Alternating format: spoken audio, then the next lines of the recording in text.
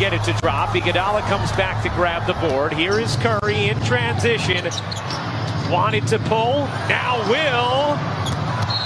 Airballed it, and here comes the crowd.